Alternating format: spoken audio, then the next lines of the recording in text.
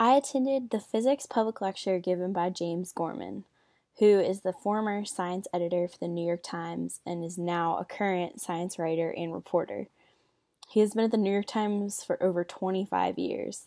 He also has a video series called Science Take um, and believes in the power of incorporating humor into presenting information, which was very evident in his lecture. He was also called and introduced as the chillest famous person. So, pretty much all of the lecture was new information to me.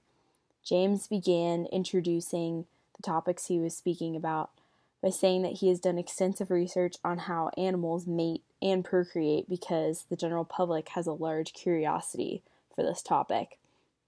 I learned some very interesting and random facts about animals.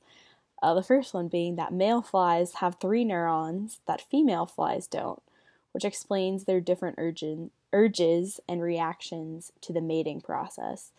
And number two, um, that hummingbirds have a super high metabolism um, because they switch between fat and sugar for fuel.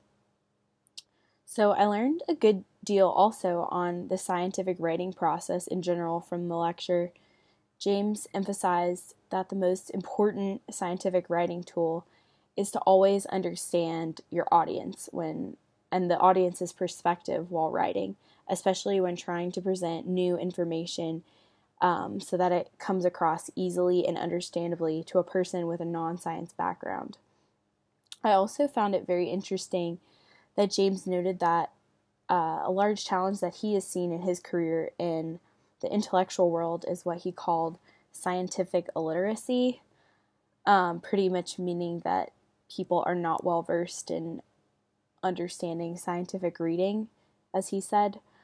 Um, and he said this can be addressed by his quote, effective scientific writing tools like the one I mentioned earlier and using strategic humor while presenting information to keep readers engaged.